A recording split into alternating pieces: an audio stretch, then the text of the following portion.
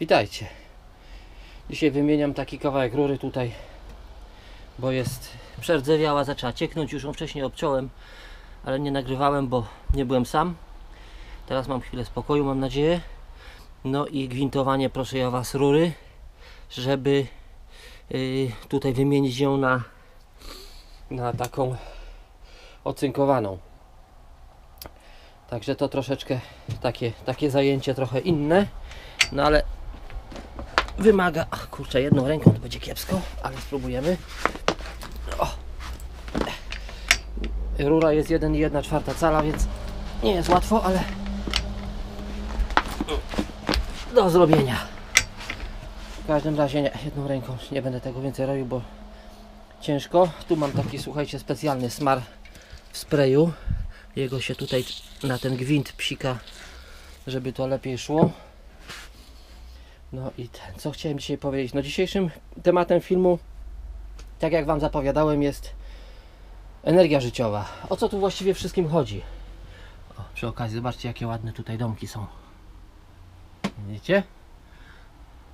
Pełno tego, wszędzie. Osy. O, tu był fajny, fajny jinx, pokażę Wam, ale już go zdjęli. Patrzcie, jakie spore gniazdo. No, to Wam powiem, że no na trzy otwarte dłonie. Wielkie, pół wiadra. No i tutaj tego pełno, patrzcie, to wszystko jest tutaj było. Oczyścili. No tak, tu ciepło, sucho, to sobie osy mieszkają, czy szerszenie, nie wiem co tam tylko. No ale wracając do naszego tematu, ja wyjdę na chwilę na zewnątrz. Tu jest ciemno, bo jesteśmy na poddaszu, ale o. No, słuchajcie, takie sobie o poddasze. Trochę kapie deszczyk, pada, ale jakoś sobie poradzimy. Czekajcie, zobaczę, czy ktoś jest, czy nie jest. Dobra, nie jest. Można coś, można z wami pogadać. no chwilkę. Tu sobie wejdę pod daszek, bo kapie. No, słuchajcie, więc tak. Zauważcie, o co tu chodzi. O co się toczy, te, te, o, toczą się właściwie te wszystkie wojny na świecie. Ale wojna to nie tylko w sensie karabiny i tak dalej, jak to dzisiaj nas molestują w radiach, w telewizjach, w internetach, wszędzie. Wszędzie po prostu. I to mamy tak już informacje takie po prostu już, że aż nie chce ich się słuchać. Tam przecież nie ma nic do powiedzenia. Tam jest wszystko obraz jednostronny, a więc o obiektywizmie nie ma absolutnie mowy, bo tak naprawdę nic nie wiemy, co się dzieje, tylko to, co nam powiedzą. A skoro to są takie informacje, dla mnie to są żadne informacje, mnie one w ogóle nie interesują. Tym bardziej, że jako historyk muszę Wam powiedzieć, że ta historia, delikatnie powiem, nie była łatwa. Widziałem y, niektóre y, niektóre takie informacje pozapisywane w internecie. To nie nasza wojna. Punkt pierwszy. Punkt drugi, żebyście mieli jasność, że się nie opowiadam po żadnej ze stron, a choćby z tego względu, że mój pradziadek i jego brat zostali zamordowani w Katyniu jako oficerowie Wojska Polskiego. Natomiast y, część rodziny została wymordowana siekierami, piłami, widłami, czym tam tylko mieli co pod ręką na Wołyniu.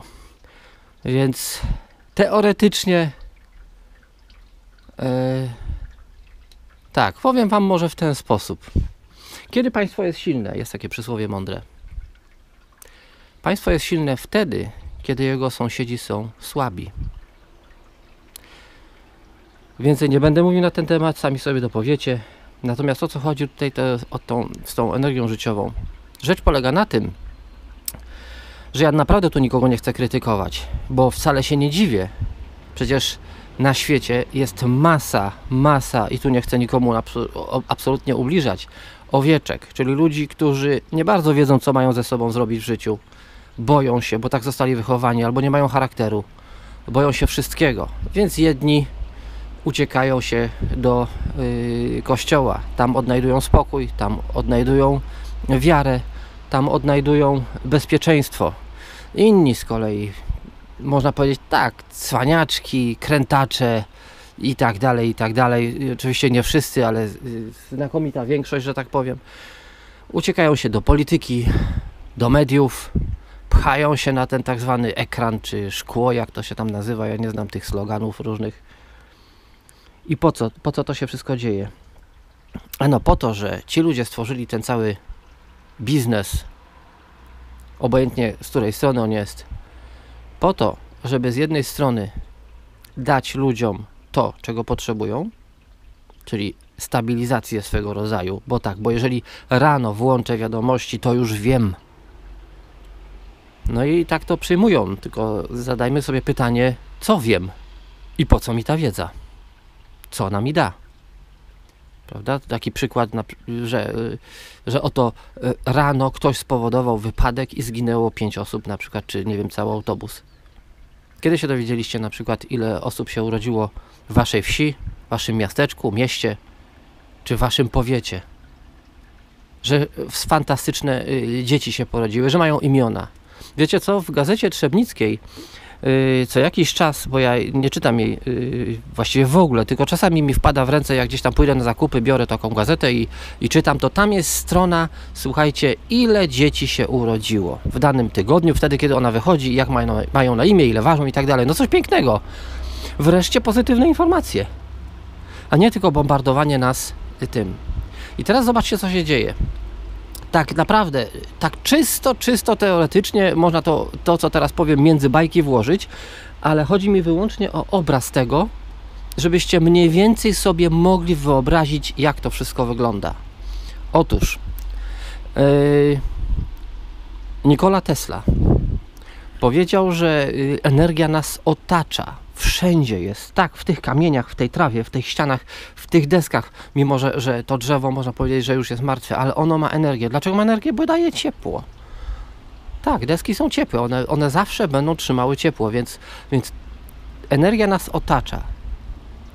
I skoro my to wiemy, Tesla to wiedział, to te ogromne instytucje finansowe, państwowe, kościelne, wszelkiej ra, y, y, rasy religie, wszelkiej, wszelkiego rodzaju religie, obojętnie z której strony. Chodzi im o to, żeby tą energię pozyskać od nas. Bo oto, jeżeli jedziemy na przykład na zjazd partyjny i tam się pojawia tysiąc osób, czy parę tysięcy, czy jest jakieś na przykład yy, zbiegowisko ludzi, tak jak, nie wiem, yy, Wośp teraz był, prawda? I też tam tysiące ludzi, no to oczywiście kasa była. No i bardzo dobrze. Ale oprócz kasy, mnóstwo, mnóstwo energii. I teraz czysto teoretycznie, gdyby się nad tym zastanowić, biorąc pod uwagę to, co mówił Tesla, to, co wiedział Tesla, jeśli oni mieliby w cudzysłowie, dużym cudzysłowie, jakieś akumulatory zdolne do kumulacji tej energii, to zobaczcie, jaka jest ich moc. I o co tu chodzi? A teraz wyłączmy wszyscy telewizory, wyłączmy radia, przestańmy się nimi interesować. To będzie, słuchajcie, katastrofa.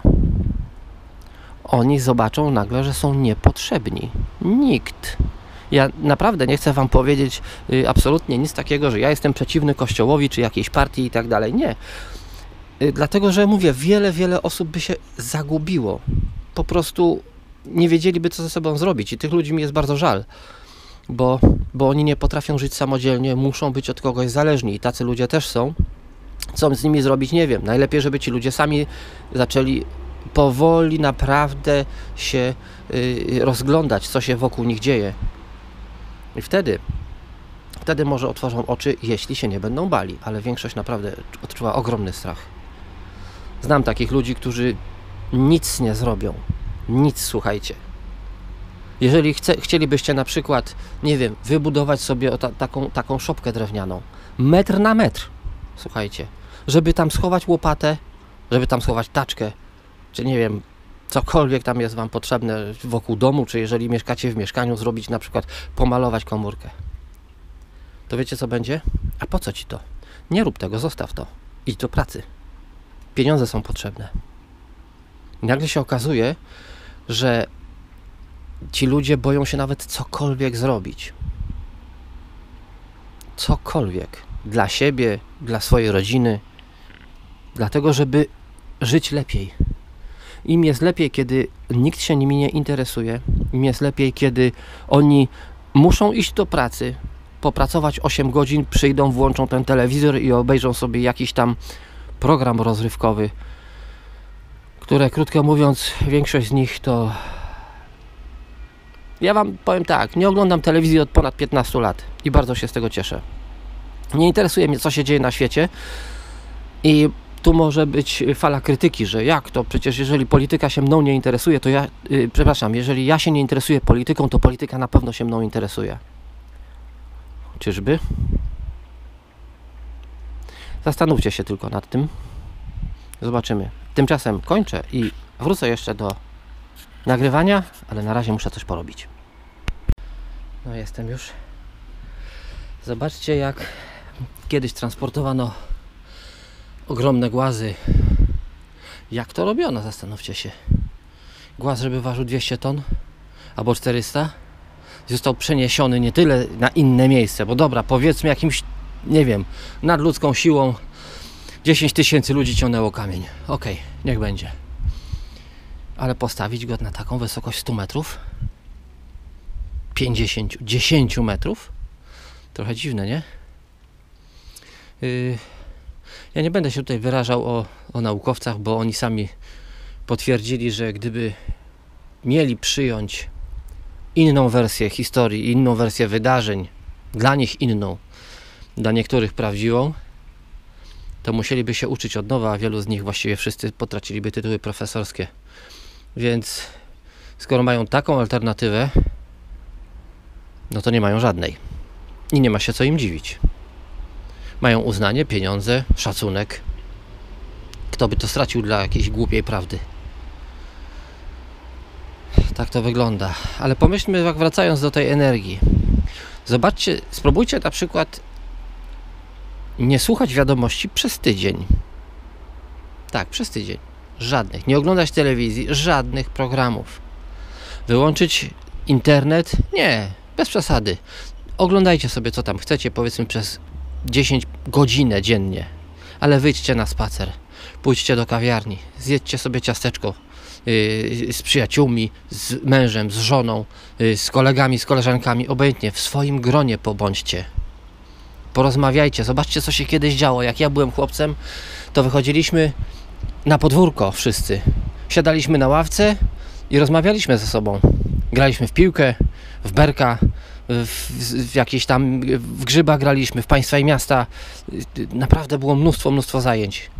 Goń, uciekaj, te, potem zmiana, teraz ja ciebie gonię, ty uciekaj. No po prostu było coś pięknego. Naprawdę, potrafiliśmy ze sobą rozmawiać, mieliśmy mnóstwo, mnóstwo tematów. Spróbujcie dzisiaj do tego wrócić. Zobaczycie, jak jest fajnie. Ja wiem, że nie będzie łatwo na początku, zwłaszcza młodym, ale zobaczycie, co się stanie.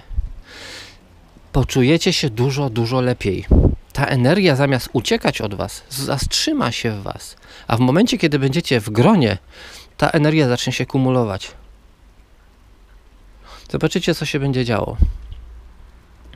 Takie rzeczy jak na przykład to, co dajesz, to otrzymujesz i przychodzi dwa razy więcej, też jest istotne. Zobaczcie na przykład, y, spróbujcie pomóc komuś na ulicy. Komukolwiek. Zobaczycie jakiegoś yy, biednego człowieka, który siedzi i żebrze na przykład, daj mu złotówkę na, na to wino. Dajcie mu tą złotówkę na wino. On będzie szczęśliwy. Bo on już, jego w, w życiu naprawdę już może nic więcej dobrego nie spotkać. Swoje przeżył. I teraz doszedł do wniosku, że takie życie będzie mu odpowiadało i tak chce je przeżyć. Nie, nie wolno go zmieniać. On, jeżeli będzie chciał się zmienić, to się zmieni sam. Albo poprosi o tą pomoc.